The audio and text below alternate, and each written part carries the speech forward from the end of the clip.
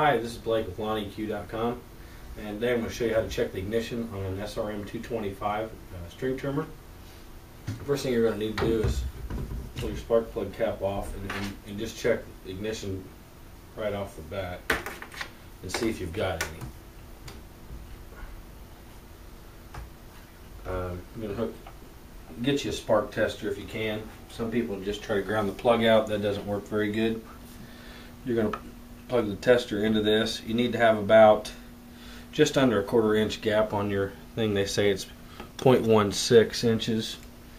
Um, and then find your ground here. Hook onto the plug or engine fan or whatnot. Um, and pull the engine over. Make sure there's no gasoline around the area so you don't start a fire.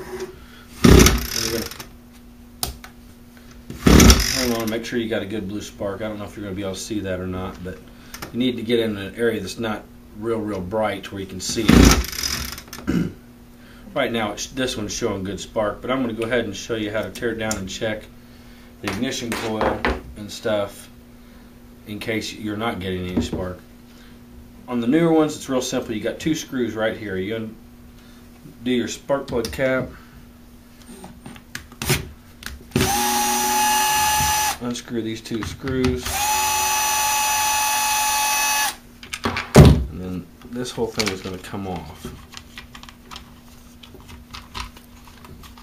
You got a little wire down here, you got to make sure you get it off there. Pull that off, and it opens you up to this ignition coil here. I don't know if you can see that or not. um, you're going to need two different things. First of all, you need to make sure that this, uh, the contacts on the flywheel are clean and free of debris, and you need to make sure that the distance between it is about 14 thousandths. I think they recommend 12 to 16, but put it right in the middle. Um, about the only way to do that is to unhook it, take it off, get that loose.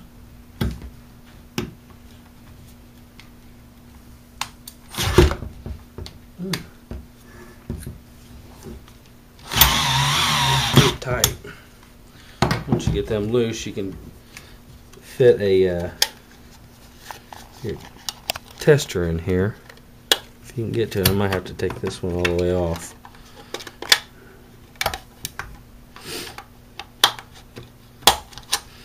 Get that in there, and then when you pull this over, it's magnetized. So when you pull that over and it gets directly underneath there, it'll suck this thing down to it.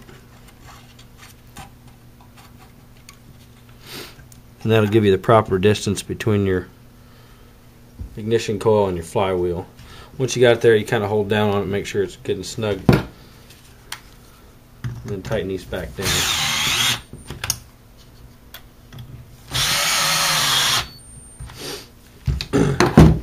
to get that out, you can pull that over a little bit so you get some gap. Pull out your feeler gauge and then um, you can plug everything back in hook back up your tester and test that.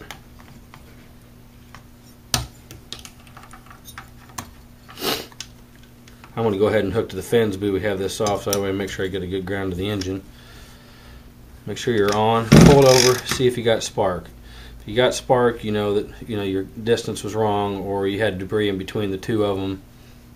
Um, from there, if you don't have spark, you need to eliminate all the grounds to the system, and basically that's this wire right here that goes on the top of the coil. You unhook it and you've eliminated everything. You've isolated it to the coil. So, in other words, if you don't get spark now, you need to replace the coil.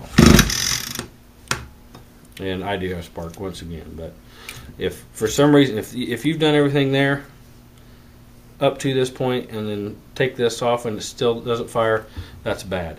If it fires after you pull this off, then you've got a ground issue between here and your switch.